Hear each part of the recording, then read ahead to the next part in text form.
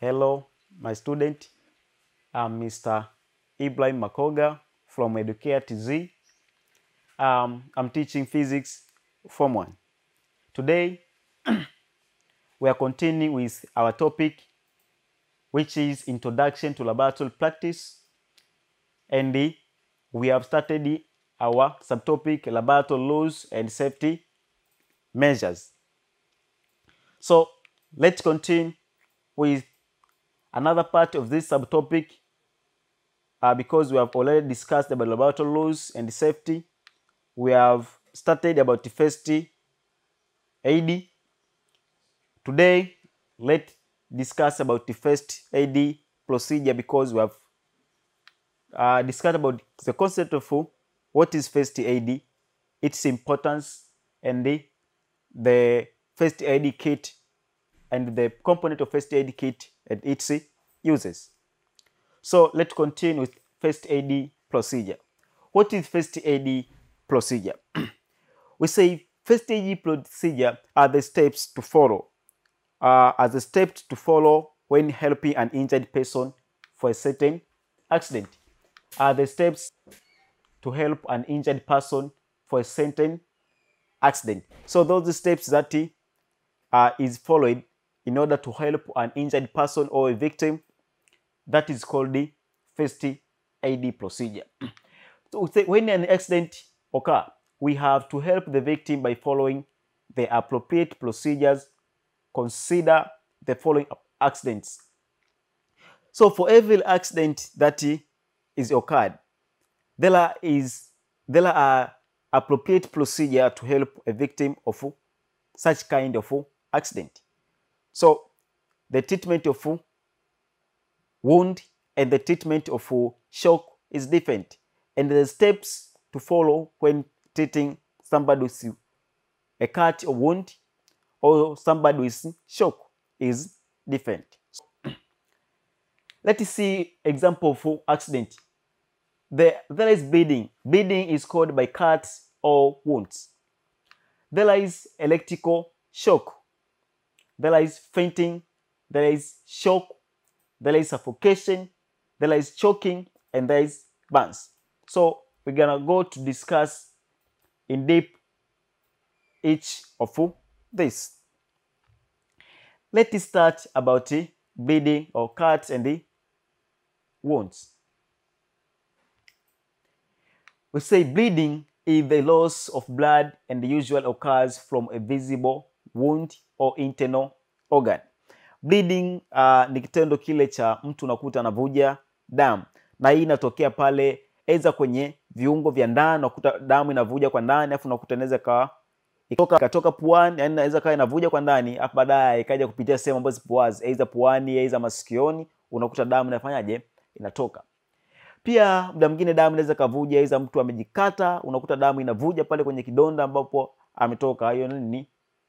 Uh, kwenye visible wound kwamba kidonda ambacho kinaonekana. Uh, internal organ ndio hizo unakuta kuna internal organ uh, that is damaged which uh, cause the loss of blood. That blood from internal organs can go out through either nose or ears. This is the opening parts. We say procedure to follow in giving first aid for bleeding may be bleeding can be categorized into two. There is light bleeding. This light bleeding is caused by small cut or small wounds. And there is severe bleeding. And this severe bleeding is caused by large cut or wounds or large wounds.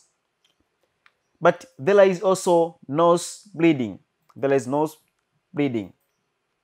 So let's discuss about light bleeding and the severe bleeding.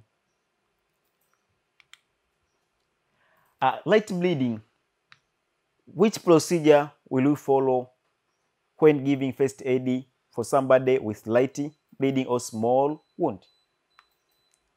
First, place the victim in a comfortable resting position. Place the victim in a comfortable place kwamba mweke katika uh, position ambayo kwamba ata resti vizuri ili kwamba kuhakikisha kwamba ile damu isiendelee kama kuvuja tena sana au sehemu ambayo itakuwa rahisi wewe kumfanyia matibabu vizuri na yeye akakaa katika hali ya nzuri kabisa bila kufili uncomfortable hivyo ili waweze kumsaidia vizuri. Also elevate the injured person ko utam, eh, utamweka katika position hapo na elevate kwamba akisha unaweka kwenye position ambayo kwamba ile damu sasa is, yani asiwe amekaa katika position ambayo kwamba damu unaipa urahisi ku, ku, kuendelea kuvuja zaidi ila mweke katika hali ambayo kwamba damu itakuwa inafanyaje? Ina itakuwa inavuja lakini kwa udogo.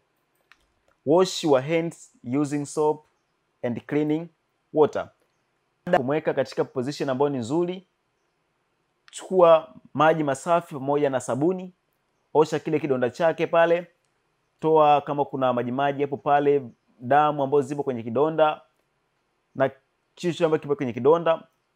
Ukishaosha uh, put on your gloves. So after washing that wound or cut with soap and clean water wear your gloves before touching him or before starting to help him. This avoid contact of victim fluids with your body and this will help you to be avoided from infection with those transmitted disease. Kwa itakusaidia wewe sasa kujikinga na na, magonjwa ambayo yanapitia kwa nini kwa kuambukiza kwa kugusana. Ndio maana tunavaa nini? Ndio maana unashauriwa- kwamba uvae gloves. After wearing gloves wash your wounds using salt water or antiseptic and clean cloth. Kwa baada sasa ya kufanyaje? Kuvaa gloves. Utaosha kidonda cha huyo victim. Is not yours or victim wash the victim wound using salt water or antiseptic. Kwa tumia maji ya chumvi au antiseptic. Antiseptic ambayo tuliona ipo kwenye first aid kit. Utakapoiosha pale osha safisha vizuri pamoja na antiseptic. Pia tumia kitambaa kisafi kutoa damu na kila kitu uchafu wote ambao upo kanini kidonda. After washing wound with salt water or antiseptic cover the wounds or cut using sterile gauze gently clean the surrounding skin and dry it using stale, stale dressing. Kwa- baada sasa ya kukiosha kidonda vizuri na maji ya chumvi au na sabuni au antiseptic ile utakikava kile kidonda kwa kutumia uh, kwa kutumia hii inaitwa sterile goes ambayo ipo kwenye first aid kit ambayo tuliona kwamba huwa inatumika kucover wounds. Ko cover wound baada ya kuikava ile wound utasafisha sehemu pembeni kwenye hiyo pale ulipo cover. Kwa utatoa uchafu wote kama kuna damu zipo pembeni utazisafisha vizuri kabisa na utakausha kabisa kusiwe na majimaji yoyote ukaribu na kile kidonda ambacho umekifunga. After covering the wound dress the wound and bandage it. O, baada hapo sasa utakifunga vizuri na, na, na, na nguo labda kitambaa kisafi utakiweka vizuri. Baadaye utakiwekea bandage. Utakiweka na bandage kabisa kikave kabisa ili ile kitambaa ambacho umekiweka pale au nguo ambayo umefunga pale vizuri ambayo ni safi kabisa isifanyaje? Isitoke unaweka nini? Bandage. Tuliona uses of bandage. After bandage it if the bleeding continue take the person to the hospital. Kwa baada ya kufanya huduma zote hizo lakini bado unakuta kwamba damu inatoka sana huyo mtu inabidi mkimbize wapi? Hospitalini kwa ajili ya matibabu zaidi. Usiendelee kumwacha katika alio. uh, let's go to severe bleeding. Severe bleeding this is caused by large cut. This is called by large cut or large wounds. So inatokea kwenye vidonda vikubwa. Procedures.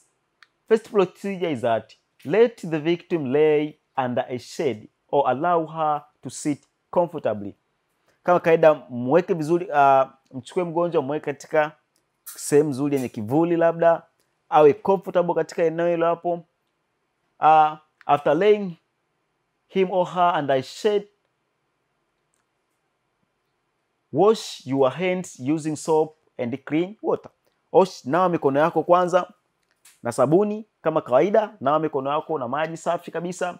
Ukisha nawa tukasema kwamba put on your gloves. Vaa gloves yako vizuri kabisa ili ku avoid contact with victims fluids. After wearing gloves you go to prevent further blood loss by applying pressure over the wound using a folded but clean handkerchief or cloth. Kwa sasa baada hapo ili kuzuia damu ile pale isiendelee kutoka zaidi unaenda kuifunga hicho kidonda chako. Kifunge kule ambako kinafanyaje? Kinatokea kikaze kabisa. Kaza kule ambako damu inatokea ili kwamba damu ile pale isiendelee kuvuja. Tumia either leso ambayo ni safi au nguo yote ambayo ni safi kabisa uh, use another cloth to secure the face in, in place. Baada ya kukava ile pale na handkerchief au cloth tumia nguo nyingine tena au kitambaa kingine tena weka juu yake kizungushie juu yake tena. Baada ya kufanya hivyo uh, take the injured person to the hospital. Baada ya kufanya hivyo maanake pale mtakuwa mmezuia tu damu. Yaani, aid ambayo imefanyika pale ni kwa ajili ya kuzuia ile damu isiende kutoka sana kwa sababu ukiacha vile mnaweza ukamtoa pale mkampeleka hospitalini vile vile damu inavuja afu ikafika kule damu imeisha sana. Kwa hivi kukufanya hivi tutakuwa umepunguza ile kuenda damu kutoka sana mpaka inaweza kafika hospitali na matibabu yake kasi makubwa sana kuliko vile ambavyo damu ingeendelea kutoka vile vile afu mnamkimbiza hospitali wakati damu inaenda kutoka. So this is about severe bleeding let's see another accident that is electric shock. Electric shock uh, this occurs when a person comes in contact with the electricity. Uh, this is occurred when a person touches either a wire uh, that has current and the uh, alikuwa aelewi kama hiyo kitu kina umeme au wakati mwingine pengine katika pitapita amekanyaga waya ambao una umeme that is called electric shock procedures to follow in giving first aid for injured or victim of electric shock First procedure, put off the main switch if possible. If not possible, use dry non-metallic material to remove the victim from the current. Procedure ya kwanza kabisa kuifanya huyu mtu ushaona kwamba yupo katika electric shock. Hakikisha kwamba unazima switch. Kama switch inajulikana ipo wapi au source ya umeme inajulikana ipo wapi, nenda kazime switch kwanza, baada ya pale ndo anza kumfanyia huduma. Au kama haijulikani source ya umeme ni wapi, chukua mti mkavu au chukua kitu chochote ambacho hakipitishi umeme na kikavu wake, majimaji yanapitisha umeme kwa hiyo kitu kwa kikavu kabisa unaenda unamtoa pale kwenye umeme unamweka pembeni ndipo uendelee kumfanyia huduma zingine. Break contact between victim and electrical source by using a dry wooden stick or insulator material. Kama hiyo kwamba tumia kitu ambacho kwa mfano wood mbao hizi hapo utatumia mkavu mti mkavu utatumia utamtoa pale kwenye cha umeme another is that check whether the victim is breathing. If breathing stops begin resuscitation Kwa utaangalia kama huyo mtu anapumua. Kama apumui sasa inabidi uanze kumfanyia ile procedure ya kumfanya apumue. Au kuna ile ya unanamiza kifuani, na, kifuani labda wengine unapuliza mdomoni kwamba una, unavuta hewa pamoja na yeye kwenye mdomo ili kuhakikisha kwamba naye anaweza kufanyaje? Kuvuta hewa tena if the victim breathing if the, the victim breathing but unconscious put him or her in the recovery position. As unaweza ukakuta yupo anapumua vizuri lakini amepoteza fahamu kabisa utamweka katika recovery position. Hii recovery position uh, this is the recovery position. So if the victim is unconscious put him in put him or her in recovery position. So you can proceed with another procedures. After putting him in recovery position administer first aid for burns shock or other injuries sustained by the victim. Kwa baada saa ya kumfanyia first aid hizo utaanza matibabu mengine ambayo yata yametokea ya kutokana na hiyo shock. Kama victim amepata shock kama victim amepata maumivu mengine vile vile utafanyaje? Utafanya first aid kutokana na kile ambacho amekipata. After then seek the medical help. Ukishafanya yote hayo akisha mnapeleka kwenye kituo cha afya. So let another but the caution the caution when giving first aid for somebody who has injured with electric shock. First do not touch the victim who still in contact with electric current. And also do not go near the area if you suspect that the area has high voltage electricity. Instead call for professional help immediately. Sasa hutakiwi kumgusa mgonjwa au hutakiwi kumgusa yule mwathirika uh, na huo umeme endapo bado yupo katika yupo contact na ile source. Kabla pengine hujazima au hujamtoa katika source ya umeme kwa sababu ukimshika na wewe pale pale na uta, utapata nini? Electric shock. Lakini pia ukihisi kwamba sehemu ambayo huyo mtu ame, amepata shock ni ina voltage kubwa sana ina umeme mkubwa sana usisogee. Hakisha kwamba unatoa taarifa kwa wale wahusika wa umeme kwa mfano kama TANESCO wale wapate taarifa ili kwamba waje wenyewe kumsaidia huyo hapo, kwa sababu unaweza ukaenda bado ukapata madhara na wewe tena, ambao unaenda kufanyaje kusaidia. Another is fainting. Fainting is the sudden loss of consciousness of consciousness caused by lack of sufficient blood and oxygen to the brain. Victim feels weak, sweats, final falls down. Ho, fainting hii hapa ni tendo ambacho kinatokea pale, unakuta mtu ghafla tu ameishiwa nguvu, yani kama amekosa oxygen, mwili umekosa oxygen, blood haizunguki vizuri, kwao anapoteza fahamu kabisa una, anaza udhaifu, anapata udhaifu kidogo, mara miguu haina nguvu, ghafla tu nakuta ameanguka, amepoteza fahamu kabisa. This is fainting. Hiyo ndo nini? Fainting. Sasa utamsaidiaje huyo mtu